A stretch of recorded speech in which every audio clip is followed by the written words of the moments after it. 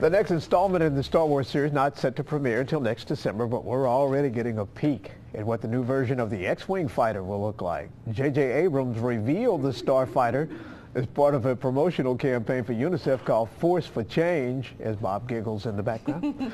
uh, participants in the sweepstakes are entered to win a chance to appear in the upcoming film. There you go, Bob. And at the very least, watch it before anyone else can see it. Uh, there's still a week left to sign up if you feel the force is strong with you, or the force is strong with that one over there. There you go. Omaze.com, Bob. Look how old and rusty the X-Wing is, as if it's been just sitting around dormant. Not unlike the Star Wars series itself, dormant. Not unlike oh, the goodness. Jedi. Dormant. You should have seen his eyes light up. I, when you started reading that story, I looked over at Bob, was and his, his whole face just lit up. I don't, I don't want to say that I, it, I it knew did. about that a little bit, but there are also there are plot rumored plot leaks out there about what the storyline of the new one's going to yeah. be about. Really? I'm, I'm, you've been reading I haven't seen these. I've been monitoring. This. After weather, you need to share those. I'll break. I don't think me. it's real. I, I, don't think what's been leaked so well, far. Well, I don't care. It'll be fun. My people disagree.